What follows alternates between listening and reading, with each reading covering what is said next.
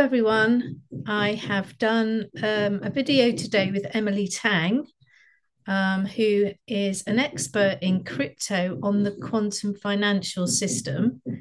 And basically, um, a channeling that I did a while ago called the Virtual Vault, um, she was able to work with me today to show the physical evidence that she has managed to gather through her interviews and her own research to back up the channeling that I have been getting for over two years.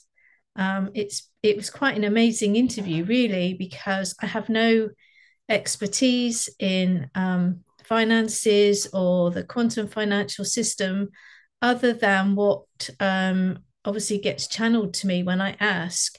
So to be able to speak to Emily and find the evidence and the background to this subject was um, very exciting.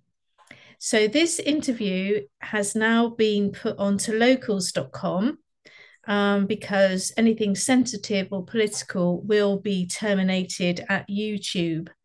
So, um, if you go to the link below this um, video, this introduction today, you'll be able to download the video at locals.com and you'll be able to see how there is now evidence and backup to show um, that what I've been getting in regards to the quantum generation and the quantum financial system is actually all being put into place by the white hats. Um, Emily also gives a very good um, explanation of the centralized banking digital currencies, um, which I've been talking about for some time as well. These are white hat controlled and they're not going to be overseen by the banks, they're going to be overseen by Starlink.